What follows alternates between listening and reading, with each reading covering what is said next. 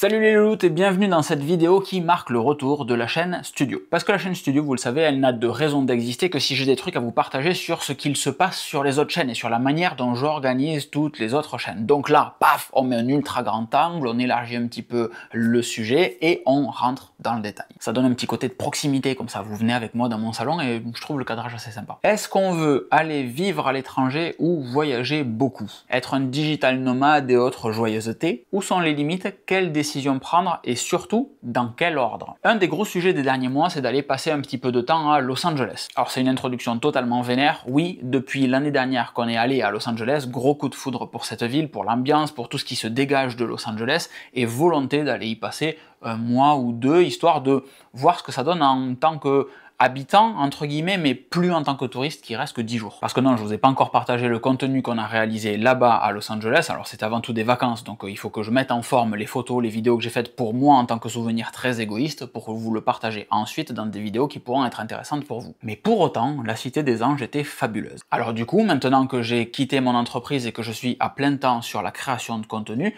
et que je pense à aller vivre quelque part, je pense naturellement à aller vivre à Los Angeles, un mois ou deux. La seule contrainte à court terme, c'est le marathon de Toulouse en novembre 2024 et le marathon de Los Angeles en mars 2025. Donc là, il y a une question qui est assez simple, c'est est-ce que je pars là le mois d'octobre pour euh, profiter de Los Angeles tant que je l'ai en tête et parce que maintenant c'est sexy, ou est-ce que je cumule ça avec le marathon de Los Angeles qui aura lieu en mars et donc partir de février, un petit peu après mon anniversaire, jusqu'à un petit peu après le marathon de Los Angeles? Ça, c'est un vrai gros suspense. J'ai aucune espèce d'idée, même si la logique voudrait que je merge un petit peu ça avec le marathon de Los Angeles, histoire de pas faire deux fois l'aller retour pour que dalle. Et dans cette logique de bouger beaucoup, de voir davantage de choses, de surtout pas être tout le temps ici entre ces quatre murs qui font le studio des vidéos que je vous partage, il y a la question de savoir qu'est-ce qu'on fait avec cette maison et tout ce qu'il y a autour de moi. Parce qu'à un moment, il va falloir se poser la question de se débarrasser de tout ce qui encombre. Est-ce que je vends tout ou presque? Est-ce que je mets tout dans un box ou presque? Est-ce que je fais une situation hybride entre les deux où je déménage dans un plus petit truc mais dans tous les cas, j'ai pas besoin de tout ce que j'ai aujourd'hui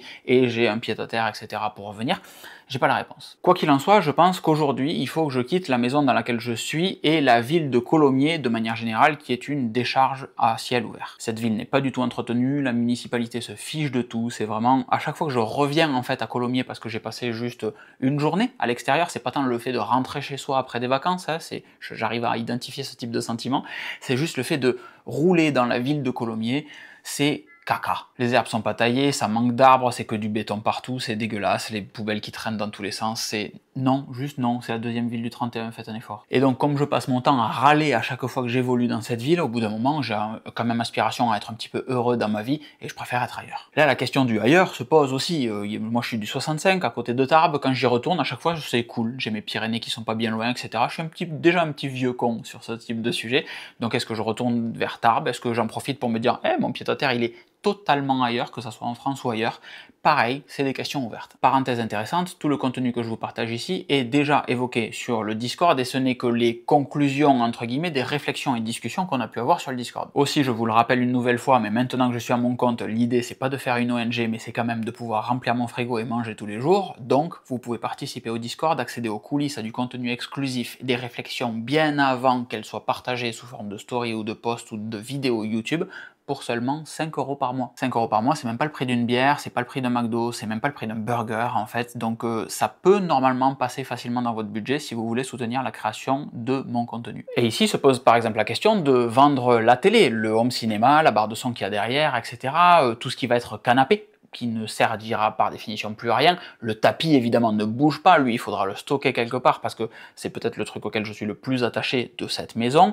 Donc, il y a pas mal de questions qui se posent sur tout le contenu, tout ce qui m'entoure, les livres derrière également. Perso, j'ai toujours admiré les gens qui n'ont pas de télé chez eux, et c'est peut-être le moment de se dire, allez, t'es digital nomade, donc par définition, il y a une notion de minimalisme, parce que tu peux pas tout avoir sur ton dos, donc les grands trucs comme ça, c'est peut-être le moment de regarder si tu peux t'en passer pour regarder du contenu après euh, sur un iPad, sur un MacBook Pro, ou tout simplement moins se regarder de contenu et se concentrer un petit peu plus sur la création de contenu. Par exemple, quand je vois mon garage aujourd'hui, je me dis qu'il n'y a aucune raison que j'ai autant de merdier dans ma maison, parce que mais en fait, je me sers pas de tout, tout le temps, et je pourrais très bien fonctionner sans tout ça. C'est du poids un petit peu, c'est du minimalisme déguisé ce que je suis en train de vous partager. Si je vous montre de loin ce qu'il y a sous mon placard, et eh c'est pareil, tout ça c'est des tests en cours, des tests à venir, des trucs qu'on a achetés, etc.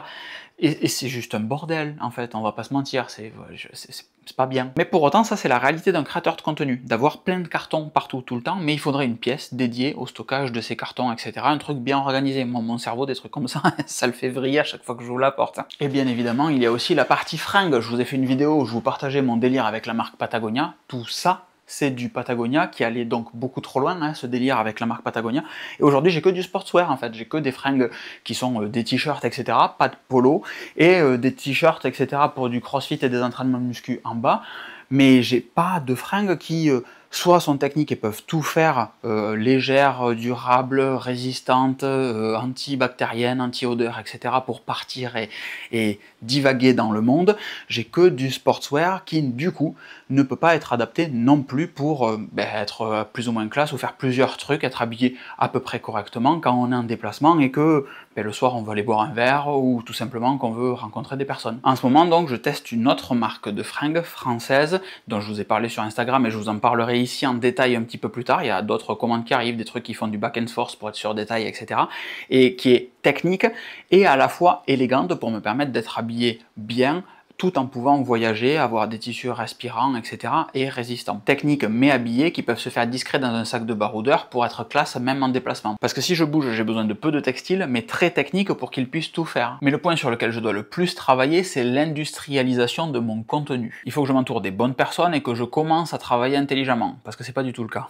Ça veut dire préparer mon contenu à l'avance, mais genre vraiment à l'avance, avoir au moins 2 à 3 semaines d'avance sur tout mon contenu, que ce soit les posts Instagram ou les posts et vidéos euh, du site et de YouTube, et comprendre ce que vous aimez et attendez de moi pour vous satisfaire dans les prochaines vidéos, afin qu'on soit davantage, petit à petit, effet boule de neige sur les différentes chaînes YouTube, tout en étant, vous comme moi, de plus en plus satisfait de l'expérience qu'on va créer ensemble. Mais il y a une connotation très importante dans l'industrialisation versus la professionnalisation, parce que je veux pas du tout être un créateur de contenu lisse qui vous dit toujours que les trucs qu'il a entre les mains sont absolument fabuleux et que vous devez l'acheter, je veux quand même toujours garder ma marque de fabrique, ma liberté d'expression et surtout ma grande gueule. Parce que ouais, ça fait pas l'unanimité, mais c'est ce qui fait que Locan, c'est Locan, quand même. C'est le fait de pouvoir dire merde dans une vidéo sans avoir trop de problèmes à le dire. Même si, encore une fois, ça veut dire que la croissance ne sera pas optimale. C'est, on a davantage de vues quand on est gentil tout le temps que quand on va envoyer bouler une marque, un produit ou un commentaire de quelqu'un qui l'écrit mal. Mais je pense que ça vaut le coup de le tenter. Donc voilà, je vous ai partagé tout ce qui se passe entre mes deux oreilles en ce moment sur la partie euh, j'arrête mon taf salarié jusqu'à maintenant, je me lance en fond dans la création de contenu et tout ce qui découle de cette création de contenu.